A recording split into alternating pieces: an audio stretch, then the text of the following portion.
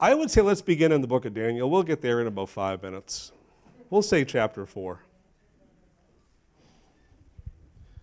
We are on part two of about six of the names and the titles of God. And we're doing, in particular, an Old Testament concentration. How many believe that all scripture is inspired of God? So that means even the old parts we skip over, right? A little plug. It's been a joy to go through the book of Amos on Thursday evenings. It's a book that many people skip over. How many have been a part of that study? You, have come to just love that book, afresh and anew. It, it speaks to us today, though it was written some 27, 2800 years ago, if my math serves me correct. Book of Daniel in a moment, but we're beginning a, t- a sermon, uh, part two of a series on the names and the titles of God, Old Testament concentration. And again, when, when you talk about names and titles, they're, they're invitations to come to understand the character and the nature of the Lord better, that you might know him and his ways more. It's not like James or Misty in a sense. These names and titles, they're revelatory. They, they, they, they bring you into understanding the deeper aspects of who and what God is. God is a multifaceted being. All lies this way. We are fearfully and wonderfully made, so in our own ways, we are complex beings. How many of you are married? Raise a hand. True or false? Your, your husband or wife, they're just complex.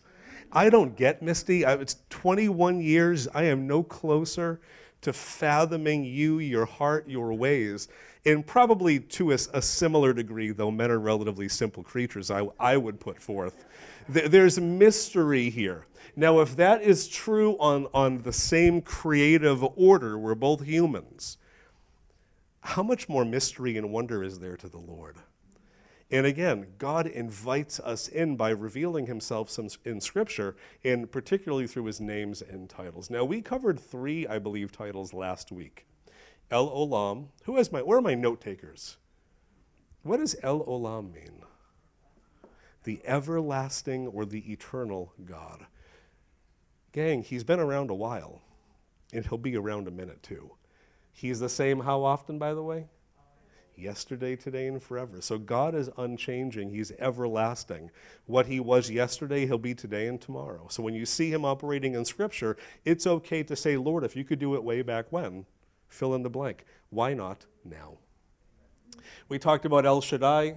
I think there was one note taker, Miss Crystal, meaning God Almighty. You know, it's funny, we sing to Jill every night. Well, Misty sings, I attempt. And what's the song we sing where she flexes? We are weak, but he is. You know the song, right? And she does this and she flexes. And feel her muscles and they're kind of non existent, but it's super cute. But she's beginning in her early age to understand that God is a being who is powerful by nature. And as adults, how powerful is he? He's all powerful. He's able to do whatever he desires to do, whatever is in accord with his will and purpose. He has the capacity to execute. And finally, El Roi, not Elroy, El Roi. The God who sees, but it's a little more specific. I, and I love this nuance to it. The God who sees me. And that was a, a name or a title that came forth in the midst of crisis and brokenness. If that characterizes your life and living in this month of 2024, He still sees you. And if He sees you and you reach out to Him, El Shaddai begins to activate the eternal God, the powerful God, and He works on our behalf. Now, I have four we're going to try to get through this morning. I promised two or three. And I believe I even have these on the slide behind me. So, little Jacks, if you just hit to the right or Marty, we'll start there. Now, we skipped this one last week. This is the one we're probably going to spend the most time on, only because this name or title uh, kind of is connected to a longer story in the book of Daniel. El Elyon. You want to know what it means? I gave it away last week. It means the Most High God. This name or title particularly reveals his might, his sovereignty, and his supremacy his might, his power, his sovereignty, his, his supremacy. This name or title appears about 30 times in the Old Testament. 19 or so are found in the book of Psalms. I'm going to read a couple of them to you. Don't turn there. You can download the notes this week. Psalm 7, the author says, I will give thanks to the Lord because of his righteousness. I will sing the praises of the name of the Lord the Most High. Underlying Hebrew, El Elyon. Psalm 9, I will be glad and rejoice in you. I will sing the praises of your name El Elyon, you who reign supreme over all things. Psalm 57 I cry out to God, Most High, to God who vindicates me. And you've probably heard of Psalm 91 before. Whoever dwells in the shadow of the Most High. What do you think the underlying term is? It's that will rest in the shadow of the Almighty. Now, when you read through the Old Testament scriptures, and it's also evident in the New, God is always presented as reigning supreme over all things. Help the pastor out. Who's heard of the Lord's Prayer before? Really, the disciples' prayer. How does it start? Our Father, so there's intimacy, there's tenderness, there's connection. What's next? Where is he seated? Why is that significant?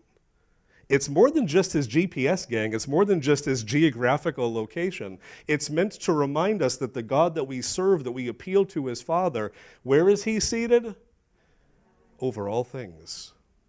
Everything being under his feet, under the sphere of his influence, under his dominion. The Old Testament term would be this El Elyon. Now we're going to look at Daniel 4 because the theme of God's supremacy or exaltation is so present in this chapter. Now, the word El Elyon is not in this, but the theme is, in a related term instead, is used, but it conveys the exact same thing. Who thinks I should just take my time with this chapter and not rush through it just to get to the next ones? Good, all of us. Daniel chapter 4, we're going to pick up at verse 1 and it's funny that we're spending so much time not only in Revelation but in Daniel. And I love come to the Sunday school if you're able, by the way. Even if you've missed prior weeks, you can watch it online, Ginger's website. What is it called? havenofhopema.org. I got it right. Hey, now and then things work out. But Daniel chapter 4, starting at verse 1. How does chapter 4, verse 1 open? King Nebuchadnezzar so, who's writing this? In a sense, Daniel is incorporating this into his work, but who's the one who's, in a sense, putting pen to paper? It's Nebuchadnezzar, who's about to relay an account or a scene from his life. King Nebuchadnezzar. To, again, think of it as a letter, to the nations and peoples of every language who live in all the earth may you prosper greatly. So, again, when you get into chapter 4, there's this transition, this segue from Nebuchadnezzar, who appears in chapter 3, not in a great light, by the way. Now we're in chapter 4, and he's the one, in a sense, addressing the audience as the Spirit of God has inspired him to put pen to paper. It is my pleasure. Now, again, who was Nebuchadnezzar? What was his role? King of what empire, by the way? Babylon. How much power do you think he wielded in, an earthly sense? The scientific answer is lots. You see, the problem that we have with the Bible sometimes is we're removed culturally from it. We, we have presidents that we vote into power, and there are so many checks and balances against them that they're really radically limited in what they cannot and can do. But you go back into these times where there were kings, they had in an earthly sphere limitless power. They could do what they wanted and Nebuchadnezzar occupied that place. And now he's saying, It's my pleasure to tell you about the miraculous signs and wonders that the, what does your Bible say next? Now, it's not the same El Elyon, but it's a similar word that conveys the exact same thing.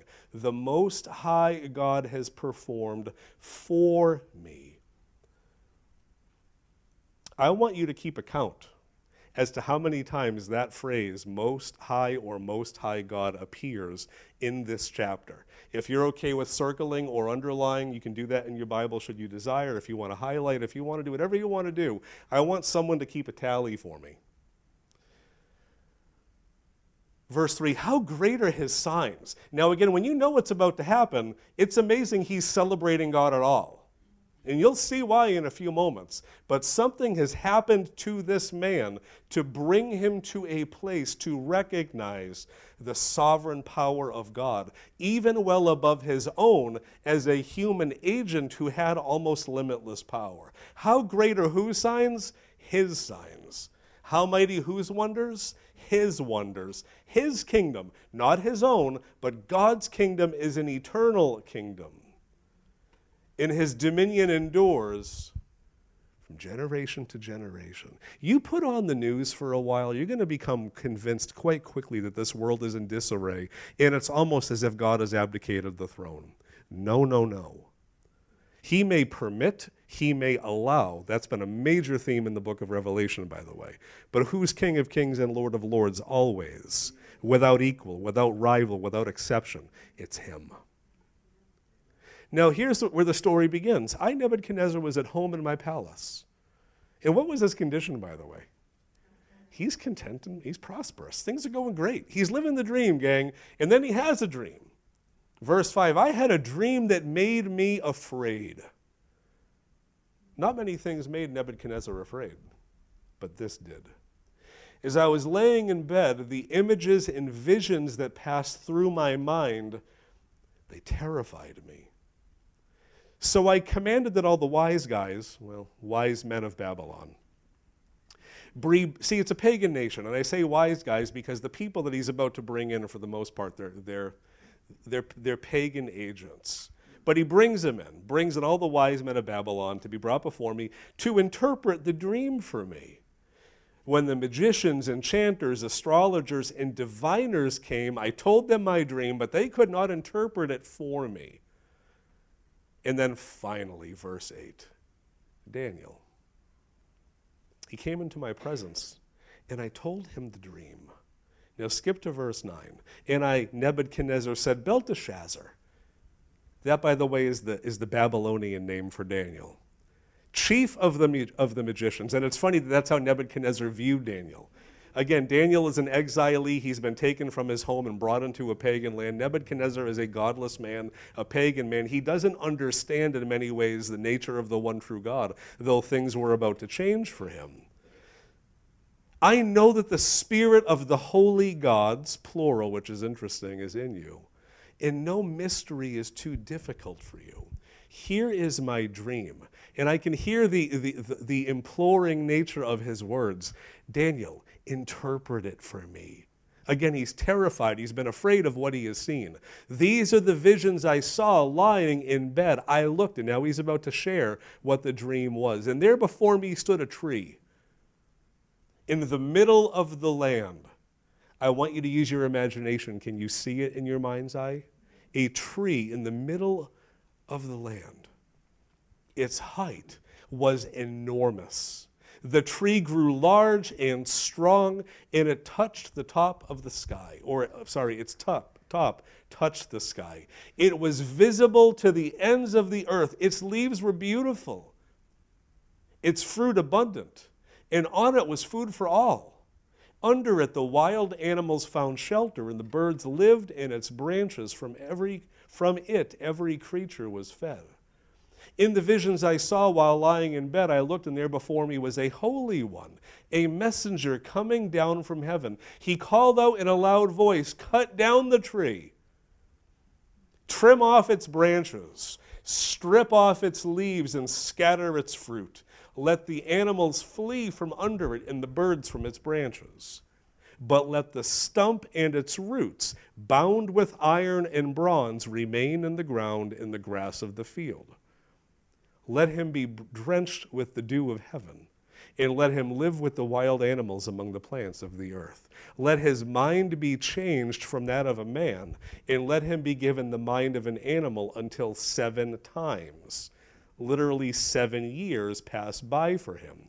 Verse 17 this decision is announced by messengers. The holy ones declare the verdict so that the living may know that the Most High my counter is what number is that?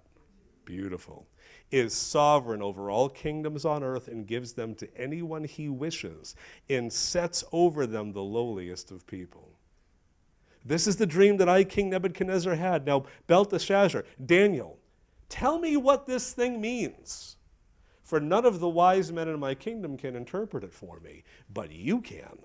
See, there's a recognition. There's something about Daniel that's different, born of experience too, because the Spirit of the holy gods is in you. Now, all eyes this way. You're Daniel. And the most powerful human on the planet has called you in to interpret a dream. What do you make of that?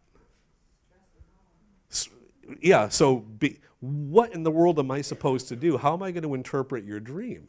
You see, unless God begins to God begins to intervene here and give Daniel wisdom, he runs a real risk of running the king afoul, and that rarely spells good news. Let's go to verse 19. Because you're going to see now the interpretation of the dream. This is a long chapter, but it's worth seeing it in its entirety. Then Daniel, also called Belteshazzar, was greatly perplexed for a time, and his thoughts terrified him. You see, he doesn't want to get this wrong. Because again, to get it wrong or to come back with no answer may not prove well for his head. So the king said, Belteshazzar, don't let the dream or its meaning alarm you. In other words, I'm, I'm willing to take the pressure off. And now he begins to answer, My Lord, if only the dream had applied to your enemies, in its meaning to your adversaries. The tree that you saw, here comes the interpretation, which grew large and strong with its top touching the sky, visible to the whole earth, with beautiful leaves and abundant fruit, providing food for all, giving shelter to wild animals and having nesting places in its branches for the birds. Your Majesty, you are that tree. So let's stop for a second. Nebuchadnezzar's dream, he has this dream of an enormous tree. Who is the tree representative of in the dream? Nebuchadnezzar. You have become great and strong. Your greatness has grown until it reaches the sky. Your dominion extends to distant parts of the earth. Your Majesty saw a holy one, a messenger coming down from heaven and saying, Cut down the tree and destroy it, but leave the stump bound with iron and bronze in the grass of the field while its roots remain in the ground. Let him be drenched with the dew of heaven. Let him live with wild animals until seven times or seven years pass by for him. This is the interpretation. Now imagine being on the receiving end of this prophetic word. Your Majesty, and this is the decree, the Most High you see, there's a point to this. God is, is, in a sense, showing who really runs things. The Most High is issued against my Lord the King. You will be driven away from people. Oh, God, I just want you to speak to me. I want you. Well, you're about to live with the wild animals, buddy. You will eat grass like the ox and be drenched with the dew of heaven seven times. How long? Seven years will pass by for you until you what? Until you acknowledge that the Most High, until you come to understand that the Most High is sovereign, He rules, unrivaled and unchallenged over all the kingdoms of the earth, and gives them to anyone He wishes. The command to leave the stump of the tree with its roots means that your kingdom will be restored to you when you acknowledge that heaven does what? Rules. Therefore, your majesty, be pleased to accept my advice. In other words, Daniel is saying, You've had a rough dream. I'll cede that, buddy. But let me just, before I go, give you a free two cents. Renounce your sins by doing what's right, in your wickedness by being kind to the oppressed. It may be then that then your prosperity will continue. In other words, King, O King, there's an off ramp to this. If you're willing to repent and just serve the Lord and recognize His greatness now, you don't have to go through any of that. Maybe the Lord will relent and yet have mercy. Well, the plot's about to thicken. Go to verse 28. Because do you think that Nebuchadnezzar listened? Why are we just so, so stubborn in persisting in a direction? How many of you have kids? When they were little, true or false, they're pretty stubborn. Even when you tell them don't do something, what do they want to do? Do you think that urge really gets any better? I think I was hanging out with my friends, the Lees, a week or two ago when all of our kids were just running roughshod and causing mayhem. I think I said to Tim, God has 8 billion of these. See, we're not any better. Nebuchadnezzar, this king of, of kings in a sense, you'd think he'd hear this interpretation of this dream and smarten up. No. Verse 28 all this happened to Nebuchadnezzar. 12 months later, God allows a year to go by to see if he was going to be receptive to the interpretation in the dream. Twelve months later, as the king was walking on the roof of the royal palace of Babylon, what did he say? Is not this the great Babylon? I have built as the royal residence by my mighty power. Who's the focus here? Who's the emphasis? Who's the object of his adoration and affection? It's himself. Then sings my soul, How great am I? I'm not going to sing to you because I love you. By my mighty power and for the glory of whose majesty? My own. Gang, he was just warned. You renounce your pride, you humble yourself, and God will allow you to go on and exalt you even further, even as the words were on the man's lips. So while he's singing his own ode, a voice from heaven comes that This is what is decreed for you, King Nebuchadnezzar. Your royal authority has been taken from you. You see, we think that the people who were in power got there purely by their own accord. No, the Lord, the Lord raises up and he causes them to fall. That's why I don't stress too much over elections. Do elections have consequences? They do. And I don't know why people vote for what they vote for. But ultimately, who's the one that puts up and who's the one that takes down? It's the Lord. So, can I tell you some friendly advice for November? Settle down a bit.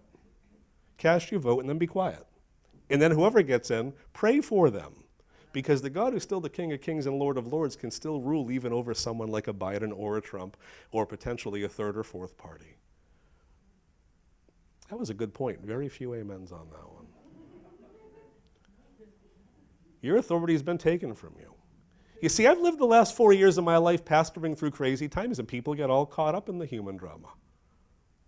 Do your part and then move on. Let the world go crazy. You represent and serve the kingdom, and more importantly, the king who reigns. You'll be driven away from people, and you're about to live with the wild animals. You're going to eat grass like the ox seven times. How long? This isn't a weekend, this isn't a month. Seven years will pass by for you until you acknowledge that the keep count is sovereign over all the kingdoms on earth and he gives them to anyone he pleases or wishes. Immediately what had been said about him was fulfilled. Now consider the condition of the I almost feel badly for him but not too badly because he had ample opportunity to fix things. He was driven away from people. He ate grass like the ox. How many of you want to eat grass for lunch? Not me. His body was drenched with the dew of heaven until his hair grew like the feathers of an eagle and his nails like the claws of the bird. Can you imagine the poor people that had to potentially attend to Nebuchadnezzar and keep an eye on him? Where's Nebuchadnezzar? Oh, he's out in the field somewhere. He's, he's looking a little rough. Seven years go by. We're almost done. At the end of that time, at the end of how long? I, now again, this is Nebuchadnezzar writing after the fact. See, he's the one presenting chapter 4 to us, incorporated into the book of Daniel. I, Nebuchadnezzar, raised my eyes toward heaven, and my sanity was restored. See, something happened after seven years of eating grass and not combing his hair. He felt a bit rough. He looks up, and it's in that place as he's, he's brought low and he looks up. That's when things begin to fall back into place. And then I did what? I praised, I celebrated, I exalted in who? The Most High. I honored and glorified him who lives forever. Now look at this beautiful characterization of the Most High God. His dominion is an eternal dominion. His kingdom endures from generation to generation. All the peoples of the earth are regarded as nothing, not insignificant, but comparatively powerless. He does as he pleases. the powers of heaven and the peoples of the earth. No one can hold back his hand or say to him, What have you done?